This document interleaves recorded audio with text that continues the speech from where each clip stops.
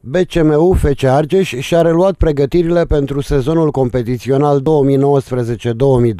la primul antrenament fiind prezenți 9 jucători. James Washington, Bojidar Avramov, Goran Gajevic, Eliah Robinson, Yuri Fraseniuc, Sabolci Santa, Lucian Chirov, Mihai Măciucă și Mihai Căprărescu. Maxim Sturanovici, Tudor Gheorghe și Marius Ciotlăuș au absentat motivat, primul urmând să ajungă la antrenamente chiar în această săptămână, iar ceilalți doi sunt convocați la echipa națională. Gruparea din Pitești se va pregăti pe plan local și ar putea disputa primul joc de pregătire în jurul datei de 30 august.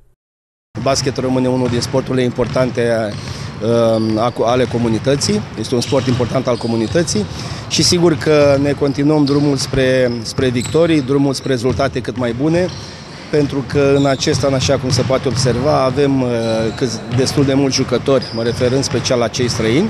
destul de mulți jucători schimbați, ceea ce înseamnă că am dorit o altă abordare, am, am, am dorit o altă, un alt profil de jucători, pentru că modul în care ne alegem sau selectăm jucătorii trebuie să țină de cerința, să țină cont de cerința campionatului.